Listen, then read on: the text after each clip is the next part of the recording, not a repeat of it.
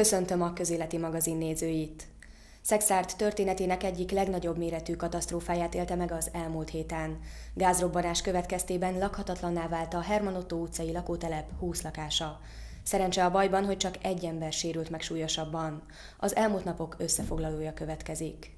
Óriási robaj rázta meg Szexárd városát október 9-én a késő délelőtti órákban.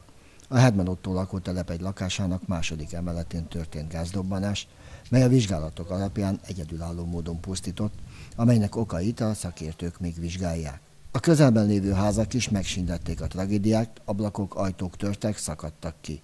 Közel száz embert kellett kimenekíteni a környékről. Az első vizsgálatok alapján is lehetett tudni, hosszú folyamat kezdődik, míg a helyreállítás mikéntjéről döntés születik. Szerencse a tragédiában, hogy mindösszesen öten sérültek meg, és csupán egy embert kellett hosszú távú gyógykezelésben részesíteni.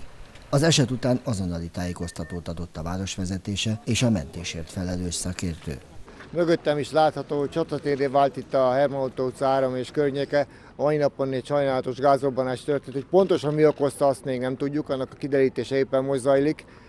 Több mint 10 10 és 30 közötti lakás sérült, hála Istennek, hogy személyi sérülés kevés volt, halálesetről nem tudunk egyébként. Az önkormányzat nyilván összehívott egy válságságot, amelynek tagjai a mentősök, a rendőrség és a tűzoltók és el fogjuk helyezni valamennyi itt lakó szexuális állampolgárt az önkormányzat lakásaiban, a kollégiumokban, illetve vélelünk lakásokat, úgyhogy meg fogjuk oldani mindenkinek a lakhatását a következő napokban. A riasztás után azonnal nagy erőkkel kezdtük meg a kivonulást, hármas kiemelt, kiemelt fokozatban. Addigra a rendőrség már megkezdte a területnek a zárását, biztonságosan a lakókat, az itthon lévő lakókat kikísérték az épületből. Annyit lehet tudni jelen pillanatban, hogy a műszaki mentési folyamatokban biztos, hogy a lakók nem térhetnek vissza ebben a tízlakásos társasházban az otthonukba. Jelen pillanatban káreseti helyszín szemlét megindítottuk, amelyet tűzvizsgálat fog követni, és mindent megteszünk annak érdekében, hogy a lakosság ellátása az folyamatos legyen. Az hamar kiderült, hogy 20 olyan lakás van, ahová hosszú ideig nem térhetnek majd vissza a tulajdonosok. A város és számos civil szervezet kezdett gyűjtésbe, és az önkormányzat azonnal gondoskodni kezdett a rászorulókról. A lakók közül volt olyan, aki külföldön tartózkodott, és csak telefonon értesült a történtekről. Én Észak-Macedóniában vagyok külszolgálaton. Egy hónapra jöttem ki, 18-án megyek haza, és hát 9-én 11 óra 15-kor hívott egy kollégám, aki a közelben lakik szintén, a Hermanotton, hogy nem tudja, mennyire vagyok képben most épp a jelenlegi helyzettel otthon, de szólni szeretne, hogy nemrég robbanás történt a, a lépcsőház környékén, nem tudta, hogy melyik házban még. És hát ugye utána egyre több információt kaptam, úgy tudtam meg, hogy a szomszéd lépcsőházban történt, de közvetlenül lakásom mellett, úgyhogy hiába voltak leúzva a redőnyök, a redőnyöket is beszakította a nyomás, úgyhogy elég katasztrofálisan néz ki a lakásom, és nem egy nem egy leányálom, de hát gondolom senkinek, de innen kintről hallani, hogy már igazából nincs hova hazamenjél, az elég, elég fájdalmas. Folyamatosan zajlottak a helyreállítási munkálatok is, miközben a Humán Szolgáltató Központ vezetésével megkezdődött az adományok begyűjtése. Az összes szakást végigjárták, rendőr katasztrofavédő kísérletében, aki visszaköltözhetett, azokat meg tudták kérdezni, hogy mit szeretnének, mit kérnének. Az önkormányzat minden segítséget felajánlott és felajánló jövőben is a károk enyhítésére. Elégedettek voltak a lakók egyébként az önkormányzatnak a segítségnyújtásával. Legtöbben azt kérték, hogy a lakásban megsérült nyilázzároknál fóliázással, vagy egyéb módon segítsünk a a hidegnek a kezelésében, illetve abban, hogy az eső ne essen be. Ezt kérték a legtöbben, de mai napon még folytatódnak a felkeresések. Vittük a biztosító munkatársait is, tehát a biztosító részéről is elindult a kárfelmérés és ennek a a kezelése. Maga a káresemény nem csak a mögöttem lévő ö, lakóingatlanokat érintette, hanem a Herman Otto utcának a, a, a lenti oldalán is a lakóingatlanok főképpen nyilászárói sérültek, ajtók, ablakok törtek be, de gépkocsik ö, sérültek meg. Ezt a rendőrségnek a helyszínelői folyamatosan vizsgálták, majd visszaengedték a lakóingatlanok tulajdonosait, de itt is kilenc inga, lakóingatlanba azt választotta a tulajdonos, hogy ő még nem költözik vissza. Tehát ha a számokat összegezném, akkor jelen pillanatban mintegy 29 lakóingatlan vált lakhatatlanná, vagy gondolta úgy a tulajdonos, hogy nem, nem kívánja ott tölteni az éjszakát, Ebből 20 lakás a mögöttem látható Hermanotto utca 3 és 5 szám alatti lakóingatlanok tulajdonosai huzamosabb időre kell, hogy felkészüljenek, hogy nem tudnak visszaköltözni az ingatlanaikba. A város által felajánlott ingatlanokat péntek reggel már volt, aki elfogadta. Igaz, ő sem tudott még megküzdeni a sokkal. Statikusokkal fogunk találkozni, hiszen meg kell oldanunk az épületeknek az árékonyságát, vagy esetleg meg kell oldnunk reményeink szerint meg fogjuk tudni oldani az épületeket, és akkor utána indult majd a helyreállítás. Suli János miniszter úr a kormány képviseletében tegnap jelezte felénk, hogy a kormány is mellett el a városnak, és amennyiben szükség van a kormányzati támogatásra, segítségre, akkor ő rajta keresztül erre a segítségre számított Szexár városa és az érintettek. Pár nap elteltével e, érzik elsősorban, vagy el, először az emberek igazából tulajdonképpen mi történt, fogják fel, hogy mi történt. Ezért a fizikai segítség mellett valóban szükség van pszichés segítségnyújtásra is. Ezt a Humán Szolgáltató Központ munkatársai biztosítják minden számára, aki ezt szeretné kérni, és ha már a Humán Szolgáltatóról beszéltünk, az adományok gyűjtését is ők koordinálják. Nagyon sok felajánlás érkezett, szeretnénk ezt úgy koordinálni, hogy a legoptimálisabban tudjuk kihasználni a felajánlott segítségeket, és náluk kell jelezni hogy mire van szüksége a lakóknak, hiszen akár kisgyerekek vannak a családban, vagy bármi olyan. Nyilván például a pelenkát nem nagyon ajánlottak még fel, de hogyha erre van szükség, akkor jelezzék a HSK felé, és akkor továbbítjuk a felajánlók irányába ezeket az igényeket. A pénzgyűjtés azt nem mi végezzük. Szentes Ébert Caritas Alapítvány nyitott kifejezetten erre az eseményre külön egy bankszámlaszámot, de ennek a koordináció is a HSK keresztül. A statikai vizsgálatok eredménye az lett, hogy létezik egy olyan megoldás, melyel meg lehet menteni az épületet. A városnak és személyesen nekem az volt a kérdésem, hogy az első és legfontosabb az emberi élet. De olyan megoldást kell találni, amely ezt tudja kezelni, és ezt figyelembe veszi. A második kérdés pedig az volt, hogyha lehet, akkor olyan megoldást keressünk, amelyen meg tudjuk menteni az épületet, hiszen ha le kéne bontani, akkor ez sok lakást érintene, nem csak ezt a hármas lépcsőházat, hanem az ötöst is például. Úgy néz ki, hogy körülmozódik egy olyan megoldás, amely minden kritériumnak, elvárásnak meg tud felelni, tehát olyan megoldás fog születni, amelyel stabilizálni tudjuk az épület jelenlegi állapotát, nem fog bekövetkezni további leszakadás, mert a földémek azért eléggé megrongált állapotban vannak, és megmenthető lesz az épület. Itt tart jelen pillanatban a Herman Ott utca három alatti lakók és a ház tragédiája. A dobbanás okairól még hivatalos kommunikét nem adott ki a katasztrófavédelem. A statikusok dolgoznak a ház megmentésének lehetőségén, a lakók számára pedig, ami talán a legfontosabb, folyamatosan érkeznek a segítségek. Családi napot tartott az S plusz C stúdió Kft. Szexárdi telephelyén. A főként energetikai felújítással, építőanyagkereskedéssel foglalkozó, családbarát munkahely címmel is büszkélkedő 22 éves cég minden évben szervez dolgozóinak és családjuknak egy olyan programot, ami az önfelett kikapcsolódásról szól. A családi vállalkozás vezetőinek az a célja, hogy az összetartozás érzését erősítsék dolgozóikban. E, két, H, két, H, a csacsacsa tánc lépéseit sajátíthatták el a gyerekek és szüleik az S plusz C stúdió Kft. szexádi telephelyének felső emeletén, és miközben a gyerekek önfeledten táncoltak, szüleik az alsó szinten különböző szakmai előadásokon vehettek részt. Megtudhatták például, hogyan lehet elkerülni a kiégést. Az előadást a családi naphoz igazodva maga a cégvezető unokája, Bíró Bence Péter tartotta naponta egy ilyen 10-15 percet ki tudunk már menni a napfényre, akkor az már egy jó hatással tud lenni ránk. Nyilván tudom azt, hogy mindannyiótok a napfényes időnek a jelentős részét az bent tölti az irodában, ez teljesen, hát a legtöbb ember így él, de hogy ha most ebédidő van, vagy éppen éppen munkába jöttök, vagy éppen hazafelmentek és megsüt a nap, határitek kimehettek egy pár percre a napra, és ez jót fog tenni igazából az immunrendszereteknek, a stressztörő képességeteket ez növeli a kutatások alapján. Majd egy szintén érdekfeszítő előadás következett, amit a neves klinikai szakpszichológus Kitanics Márk tartott. A szakember az internet és a közösségi média veszélyeit, a társadalomra és a viselkedésünkre kifejtett hatását vette gorcső alá, némi humorral fűszerezve mert mindenki nyomkodja a Facebookját, és hogy számtalanszor előfordult már velem is, hogy bemegyek egy üzletbe, valamit vásárolni akarok, természetesen nem az S plusz cégbe történt ez.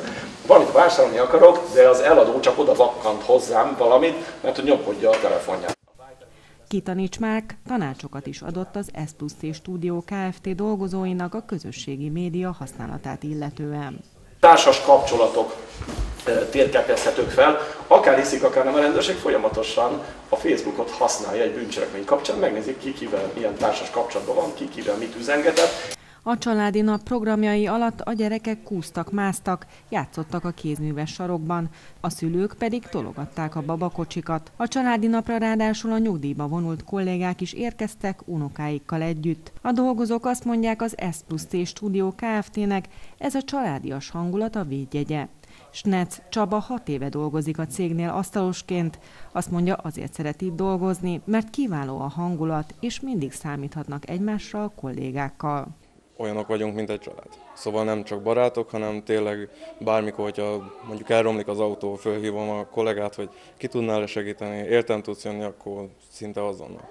Szóval nem, nem is barátok vagyunk, hanem inkább tényleg, mint egy nagy család. Nagyon jó sok program van, ugye a gyerekeknek is csomó foglalkozás, meg ö, ilyenkor tudunk együtt lenni az egész cég, mert ugye különböző csoportok vannak, raktár, vállalkozás, pénzügy, mi is kijön a metalóba is, ilyenkor vannak azok a pillanatok, amikor össze tudunk ülni tényleg együtt és egy napot eltölteni. Szommerné Benkő Ágnes fél éves kisbavájával érkezett a családi napra, lassan két éve van gyesen, előtte ügyvezető asszisztensként dolgozott. Azt mondja, a cég nem feledkezik meg a kismama dolgozóiról sem, minden eseményre meghívják őket, és számtalan formában segítik a gyerekes munkavállalókat.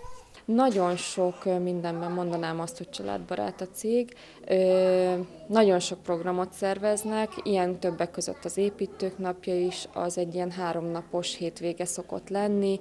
A dolgozók minden családtagjukkal meg vannak hívva. Az utóbbi években, ha jól tudom, de nem, Szóval korábban Harkányban volt, az biztos, most az utóbbi években nem tudom, hogy hova szokták, de mindenki családostól, férjestől, feleségestől, gyerekekkel lehet fürdeni, csapatépítő játékok szoktak lenni, közös főzések, szóval nagyon jó hangulatban szokott eltelni. Akkor ugye vannak még családbarátként ezek a családi napok is, Ilyenkor is az összes családtag meg van hívva, illetve még a gyerekeknek, amit biztosan tudok, júniusban szokott lenni gyerektábor, azt egy hetes gyerektábort szokott szervezni a cég. Minden nap reggel 8-tól délután 4-ig, különböző foglalkozások, múzeum látogatás, kirándulás, fagyizás, Szóval azok is nagyon jó hangulatban szoktak telni. Az előadások alatt rotyogott a bogránsban a vegyes pörkölt, az asztalokra pedig időközben előkerültek a jó minőségű szexárdi borok is. Az ebéd igen jó hangulatban telt. A családi vállalkozás vezetőjének az a célja ezekkel a programokkal, hogy az összetartozás érzése erősödjön a dolgozókban, és jó munkahelyi légkör alakuljon ki, mondja a cég vezetője, Cangéza. Van egy olyan feelingje a cégnek, olyan hangulata, amely miatt szívesen dolgoznak itt nálunk a kollégák, és reméljük, hogy ez, ezen a módon is hozzá tudunk járulni, hogy jól érzik magukat itt. Az S plusz C Stúdió Kft. nem csak családi programokat szervez dolgozóinak, hanem különféle juttatásokat, rugalmas munkaidőt biztosít számukra. Néhány évvel ezelőtt elnyerték a Családbarát munkahely címet is, a cégvezető azt mondja, igyekeznek megbecsülni dolgozóikat, és továbbra is sokat tesznek a jó munkahelyi légkör kialakítása érdekében. Nálunk ez egy alap, hogy, hogy amióta a cég működik, ez nálunk mindig is egy erős vonal volt, tehát egy tulajdonosi gondolkodásunk az, az abszolút egy család barát filozófiára épül. Szerintem számít. Persze, hogyha valaki egy jobb jövedelmi helyzetet kihasználhat, akkor, akkor hát tőlünk is akkor elmennek, hogyha mi azt nem tudjuk esetleg biztosítani, vagy éppen költözés miatt kell munkahelyet váltani valakinek. Hát a fluktuáció sajnos minket sem kerül el, de azt örömmel mondhatom, hogy, hogy mindig fel tudtuk tölteni a létszámunkat, sőt tudtunk fejlődni, és, és mindig tudtunk nagyon jó kollégákat találni, tehát azt gondolom, hogy még a fluktuációval is csak erősebbek lettünk, meg bízok benne, hogy leszünk is a jövőben. Részmunkaidőben azért néhányan dolgoznak, de azért zömében nem részmunkadősök vagyunk, de igaz az eltúlt munkaidőrend, tehát az, hogy, hogy és itt esetleg a, a beosztáshoz alkalmazkodva, aki gyerekét viszi az iskolába, az lehet, hogy nyolcra jár csak dolgozni, illetve hogy a buszjárata van, akkor, akkor egy ilyen csúsztatott munkaidő kezdés befejezéssel ehhez tudunk alkalmazkodni. Nyilván rugalmasan azokhoz a, a családi programokhoz vagy kötelezettségekhez, ahol el kell engedni a dolgozót, ezt, ezt mi megoldjuk. A, ha bármilyen tanulmányba kell támogatást nyújtani, vagy éppen egy lakás vásárlás, építés választásba szintén megtörténik. Egészségügyi szolgáltatásaink egy kicsit egyedül állnak, tehát itt azért a tehát hetente van egy, egy tájcsi képzésünk, ahol önkéntesen, akit, akinek ezt tetszik, az munkaidőben részt tud venni. Egészségmegőrzésre van két BMR készülőkünk, ami elektromágneses módon segíti az egészséget. A családi nap egy közös ebéddel és gyermekeknek szóló programokkal záródott. Kétjen harmadik alkalommal köszöntötték a szépkorúakat a helyi ovisok együttműködve a könyvtár dolgozóival. Az ünnepi műsort követően Monostori Mária pszichológus előadásában az egészséges életmódhoz kapcsolódó tanácsokat hallhattak az érdeklődők. Elmúlt egy újabb esztendő, történt jó is, rossz is, elegendő. Idősebbek lettetek egy évvel, őszhajszálatok gyarapodott szépen, Két jovisok szavalnak nagyszüleiknek az idősek világnapja alkalmából. Egy 2016-os kutatás szerint, amikor a nagyszülők is részt vesznek az unokák életében, akkor a gyerekek nem csak szociálisan, hanem az iskolában is elkötelezettebbé válnak. Valamint a gyerekeknél nagyobb valószínűséggel alakulnak ki a szociális fejlődéshez elengedhetetlen készségek, mint a gondoskodás, az együttérzés és kedvesség, még azon emberek felé is, akik nem állnak érzelmileg olyan közel hozzájuk.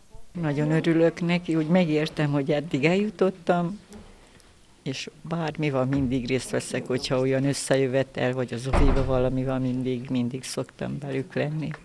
És mekkorák az unokák, hogy hány unoka van a családban? Hét unokám van, a legidősebb 26 éves, a picike meg 5 éves volt áprilisban. Végül is délőtt kaptam a értesítést kolléganőktől, mert én itt voltam a vonő, de a gyerekeim máshol élnek, úgyhogy az unokáim nincsenek itt, de szeretem megnézni az ovisokat, mikor szerepelnek, úgyhogy az hozott ide inkább.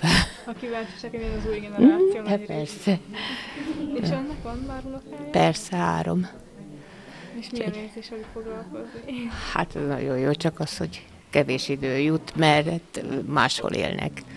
Nem, nem itt egy faluban, meg nem egy háztartásban, mint sok helyen.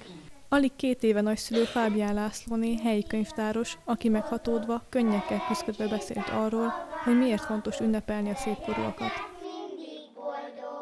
Két éve megszületett az unokám, tehát tudom, hogy mi a nagyszülő unoka kapcsolat, és nagyon fontosnak tartom, hogy ne csak a nagyszülők éreztessék a gyerekekkel, hogy mennyire fontosak nekik, hanem a gyerekek is éreztessék, hogy igenis ők értékelik azt, amit tesznek értük a nagyszüleik. Ez már a harmadik alkalom, hogy a könyvtárazó óvodával közösen az Idősek Világnapja alkalmából programot szervez a két jóvisok nagyszüleinek. Kicsit próbálják viszonozni azt a sok szeretetet, megtörődést, amit kapnak, legalább az év ennek a napján. A két jóvisok átjönnek, verselnek, énekelnek, a végén a nagyszülők kapnak egy kis ajándékot, amit a könyvtárban készítek. És ma még lesz egy plusz meglepetés, mert Monostori Mária előadást fog tartani majd 6 órától, amit kimondottan az időseknek szerveztem a megyei könyvtár jó voltából, az egészséges életmóddal lesz kapcsolatos. Kordék, kocogó, talig a kerék, három véka kívánság áldjon meg az ég. Az előadást követően apró ajándékkal és tematikus előadással egybekötött ételkóstolóval folytatódott a kéti szépkorúak ünneplése. Különleges lövészversenyt rendeztek a Tolna megyei rendőrfőkapitányság, a Nemzeti Adó és Vámhivatal, valamint fegyveres biztonsági szolgálatok munkatársainak. A versenyzőknek a szolgálati fegyvereiket és gépkarabét kellett használniuk.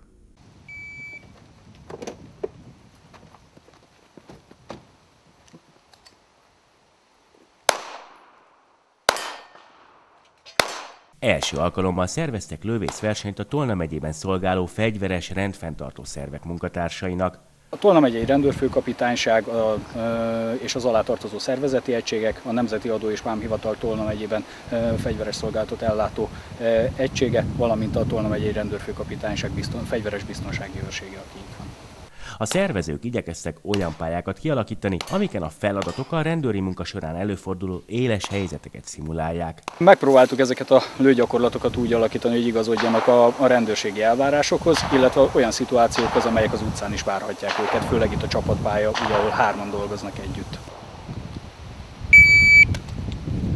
Fehér!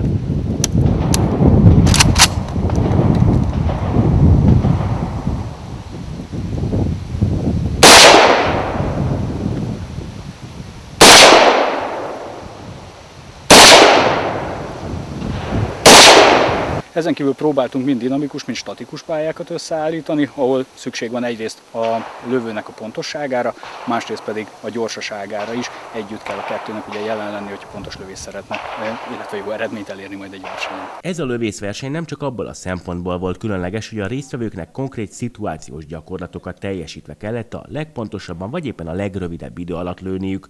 A verseny érdekessége volt az is, hogy főként pisztolyokat kellett használni, nem pedig puskákat. Minél rövidebb egy fegyver, annál nehezebb használni. Ugye a laikusok azt hiszik, hogy pisztolya nagyon könnyű lőni. Pisztolyal a legnehezebb lőni, az mindig a leg, legnehezebb műfaj, és minden nagyobb kaliberű az adott fegyver, annál nehezebb. Annál nehezebb kezelni, ugye annál komolyabbat rúg a fegyver, annál keményebben kell tartani megdolgozza a lövészt nagyon a, a maroklőfegyver, nagyon sok gyakorlást igényel, már kisebb távokon is, tehát a 15 méteren is viszonylag komoly lőkészség kell ahhoz, hogy valaki pontosan tudjon lőni maroklőfegyverre.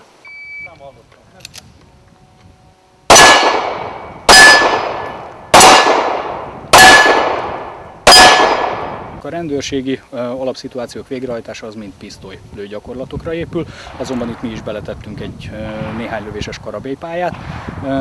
Alapvetően a vadászoktól abban térnek el, hogy mi a célja magának a fegyverhasználatnak. A versenynek bár Tolna megyei nevezők vettek rajta részt, mégis a Baranya megyei Szászvár lőtere adott otthont. A helyszínválasztás oka pedig az volt, hogy az országnak ezen a részén kizárólag itt van olyan pálya, ahol meg lehet rendezni egy ennyire összetett feladatokat tartalmazó lövészversenyt. Egy nagyon komplex pálya a gépkarabé lövészettől kezdve a, a lövészetig mindenre alkalmas. Két szövetségnek vagyunk a tagjai, akik mind a ketten két szövetség más palettán lő, és mind a két palettát végig lehet lőni ezen a pályán.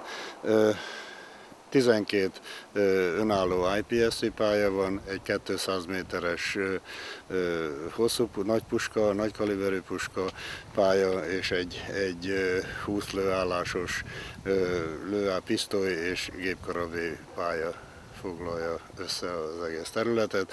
A maga a lőpálya az 1 hektár, 10 ezer négyzetméter, és körülötte még 3 hektár védőzóna helyezkedik el. A Szászvári versenyen végül négy kategóriában hirdettek győzteseket. A nők között Bogár Dalma lett a legjobb, a férfiak közül Kertész Roland állhatott a dobogó legfelső fokára, míg a lőkiképzők között Héregi Tamás nyert. A csapatszámokban pedig a Szexárdi rendőrkapitányság B csapata bizonyult a legjobbnak.